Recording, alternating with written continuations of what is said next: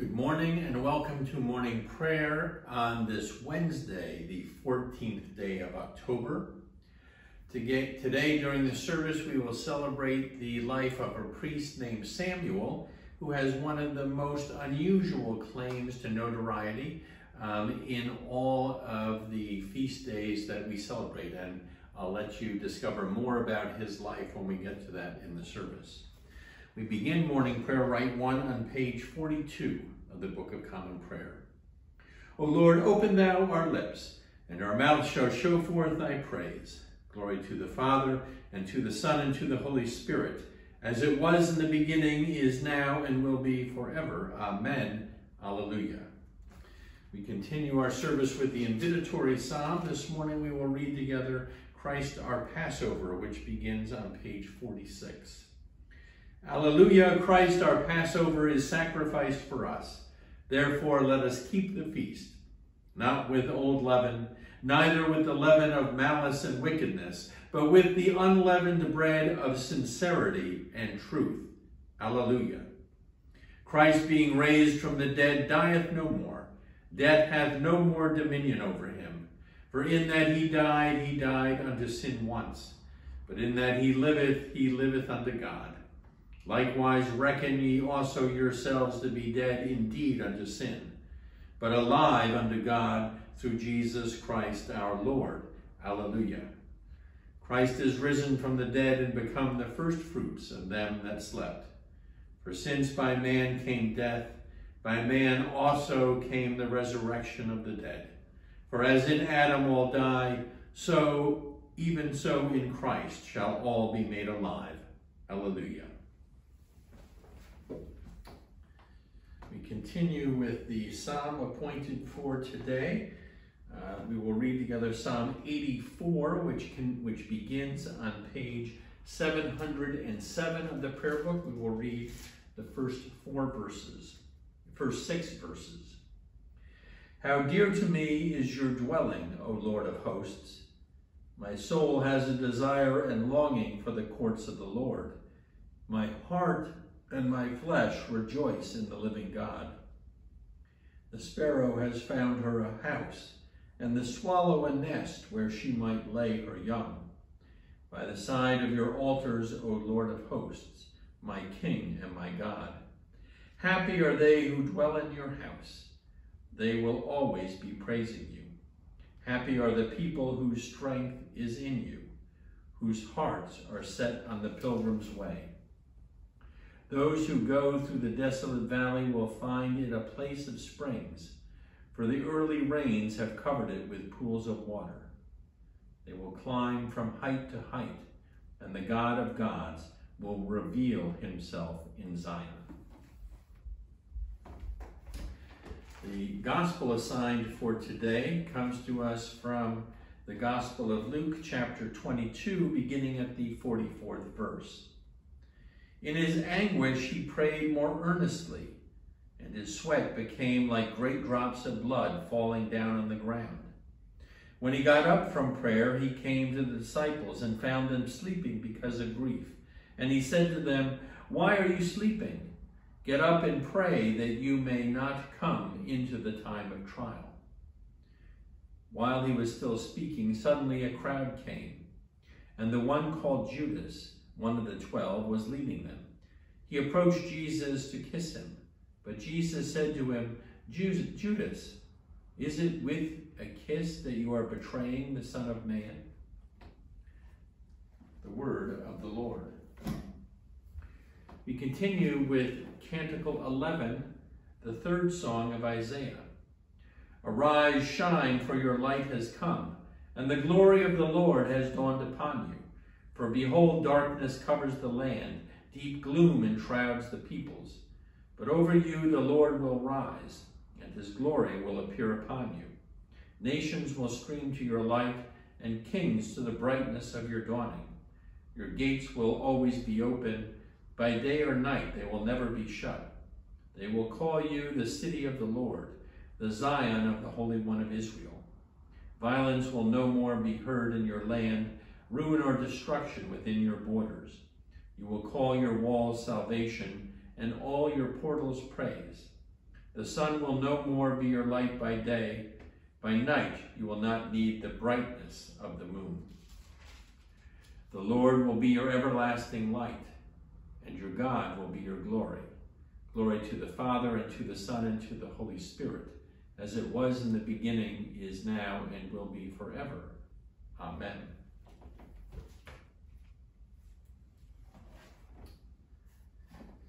So we can we continue reading about the life of Samuel Isaac Joseph Schereschewsky. The story of Joseph Schereschewsky is unique in the annals of the church. He was born on May 6, 1831, of Jewish parents in the Lithuanian town of Tauroggen. His early education was directed towards the rabbinate but during graduate studies in Germany, he became interested in Christianity through missionaries of the London Society for, Prom for Promoting Christianity Among the Jews, and through his own reading of a Hebrew translation of the New Testament. In the year 1854, Schereschewsky immigrated to America and earned the West and entered the Western Theological Seminary in Pittsburgh to train for the ministry of the Presbyterian Church. After two years, he decided to become an Episcopalian and to finish his theological studies at the General Theological Seminary in New York City, from which he graduated in the year 1859. After ordination and in response to Bishop Boone's call for helpers in China, Schereschewsky left for Shanghai. Always facile in languages, he learned to write Chinese during the voyage. From 1862 to 1875, he lived in Peking and translated the Bible and parts of the prayer book into Mandarin. After Bishop Williams was transferred to Japan, Schereschewsky was elected Bishop of Shanghai in the year 1877 and was consecrated in Grace Church, New York City. He established St. John's University in Shanghai and began his translation of the Bible and other works into Wenli. Stricken with paralysis, he regained his see in the year 1883. Schereschewsky was det determined to continue his translation work, and after many difficulties in finding support, he was able to return to Shanghai in the year 1895.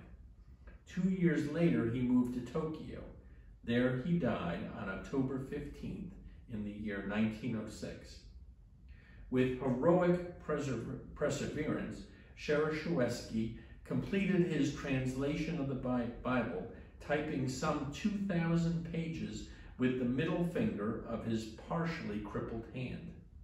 Four years before he, his death, he said, I have sat in this chair for over 20 years. It seemed very hard at first, but God knew best. He kept me for the work for which I am best fitted. He is buried in the Aoyama Cemetery in Tokyo next to his wife, who supported him constantly during his labors and illness. There we have an amazing life, and amazing dedication to the gospel. We continue uh, with by reading together the Apostles' Creed, which begins on page 53. I believe in God, the Father Almighty, maker of heaven and earth, and in Jesus Christ, his only Son, our Lord, who was conceived by the Holy Ghost, born of the Virgin Mary, suffered under Pontius Pilate, was crucified, dead, and buried. He descended into hell. The third day he rose again from the dead. He ascended into heaven and sitteth on the right hand of God the Father Almighty. From thence he shall come to judge the quick and the dead. I believe in the Holy Ghost, the holy Catholic Church, the communion of saints, the forgiveness of sins, the resurrection of the body, and the life everlasting. Amen. The Lord be with you, and with thy spirit let us pray. We begin together by saying the Lord's Prayer followed by suffrages A. Our Father, who art in heaven, hallowed be thy name. Thy kingdom come, thy will be done on earth as it is in heaven. Give us this day our daily bread. Forgive us our trespasses as we forgive those who trespass against us. And lead us not into temptation, but deliver us from evil. For thine is the kingdom and the power and the glory, forever and ever. Amen. O Lord, show thy mercy upon us, and grant us thy salvation. Endue thy ministers with righteousness, and make thy chosen people joyful. Give peace, O Lord, in all the world, for only in thee can we live in safety. Lord, keep us this keep this nation under thy care, and guide us in the way of justice and truth. Let thy way be known upon earth, thy saving health among all nations. Let not the needy, O Lord, be forgotten, nor the hope of the poor be taken away. Create in us clean hearts, O God, and sustain us with thy Holy Spirit. We continue with the collects for today. O God, who in thy providence didst call Joseph Schereschewsky from his home in Eastern Europe to the ministry of this church, and did send him as a missionary to China, upholding him in his infirmity, that he might translate the Holy Scriptures into languages of the land, that land. Lead us, we pray thee, to commit our lives and talents to thee, in the confidence that when thou givest unto thy servants any work to do, thou dost also supply the strength to do it. Through Jesus Christ our Lord, who liveth and reigneth with thee in the Holy Spirit, one God, forever and ever. Amen. O Lord, our Heavenly Father, Almighty and everlasting God, who has safely brought us to the beginning of this day. Defend us in the same with thy mighty power, and grant that this day we fall into no sin, neither run into any kind of danger, we, being ordained by thy governance, may do always what is righteous in thy sight, through Jesus Christ our Lord. Amen.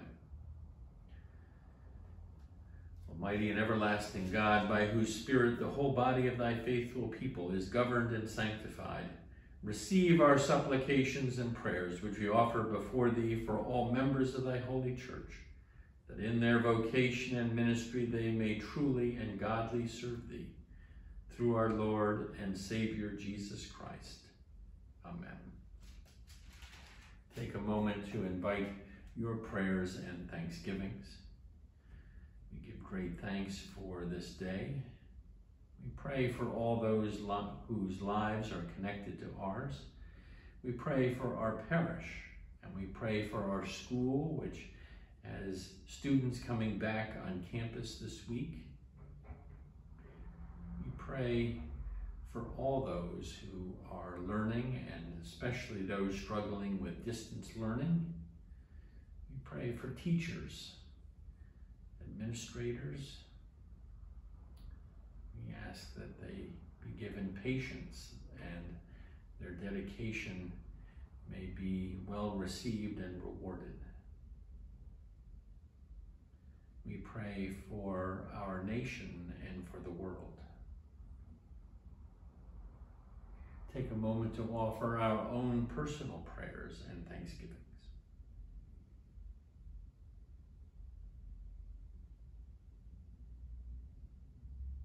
Gracious God, for all our prayers spoken and those that reside deep in our hearts, we lift them up to you this day.